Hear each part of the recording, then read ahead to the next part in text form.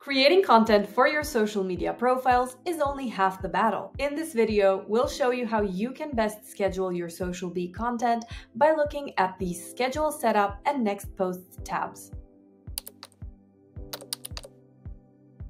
Let's start with the schedule setup. There are a few ways in which you can set up your schedule, depending on whether you're in the onboarding phase, by using the Copilot within your SocialBee account, or by going into your Schedule Setup tab. Let's analyze them in more detail. In the onboarding phase, once you've connected some profiles, you'll be asked to pick between the Social Media Copilot and tuning your workspace manually. Either one of these options will help you set up a schedule. Outside of the onboarding, you can generate a posting plan from your social media Copilot tab, which bases your schedule on the suggested categories, general best practices, and some of your analytics to determine the best times to share your content. You'll reach the posting plan as your third step once you've generated content categories.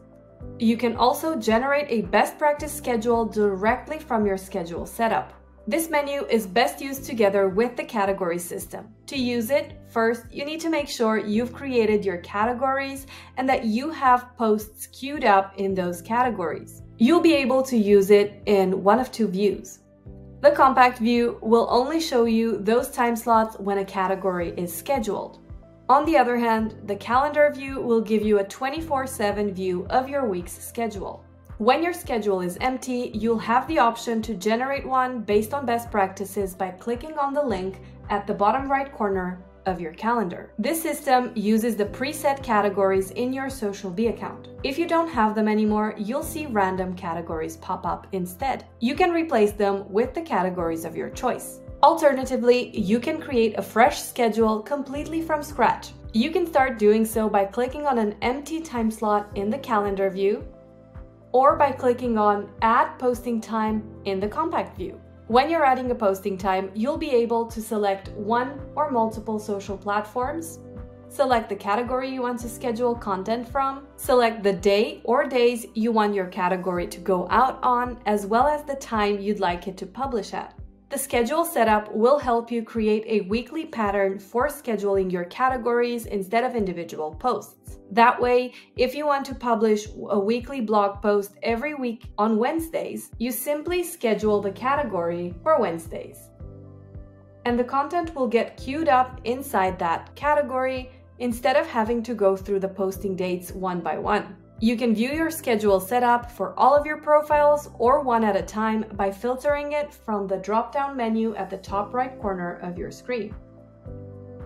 You can also filter for different categories if you ever want to see what profiles a category is scheduled for. You're also able to edit existing posting times by clicking on the time slot you want to edit. This will allow you full control to change everything from profiles it's assigned to, category, time, and day. You can even delete a posting time entirely by editing it. Once your schedule is set, you'll be able to see an overview of your content mix in the schedule statistics table on the bottom of your page. This will give you an overview of how much content you're scheduling from each category and whether your content mix is balanced. For instance, if you're working with an 80-20 rule where 80% of your content provides value and 20% of your content promotes your business, you'll be able to see exactly how many posts you're going through in a total week, as well as the percentage of the content coming from each category in a week's time. That way, you're making sure you're not oversharing or undersharing from any one of your categories. Next up, we're looking at the Next Posts tab. This is where you'll be able to see all of your next scheduled posts for each profile. First, look at the top right side of your screen and you'll be able to select your desired profile you want to see posts for in the drop-down here. Then you'll have the content showcased in one of three ways. The list view shows you a list of your next scheduled posts, starting with the next post to go out and moving down the list. The calendar view shows you an overview of your scheduled content, allowing you to see where you're still missing content.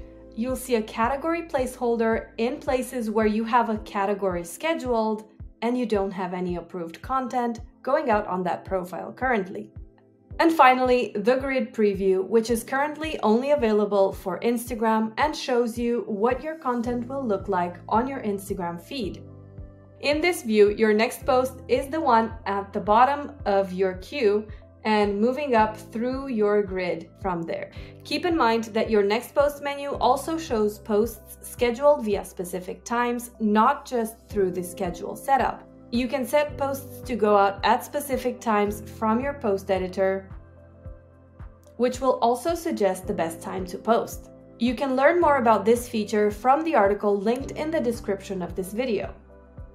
Next to your next posts, you'll also see the Failed Post tab, which is there to let you know what happened in case one of your posts fails to publish. Check out the article in the description of this video to learn what each posting error means. Now all that's left to do is make sure that your profile is set to running from your dashboard and that there's enough approved content to get you through until your next content batch. If you have issues with scheduling your content or any other SocialBee for that matter, please reach out to our team at success at socialbee.com.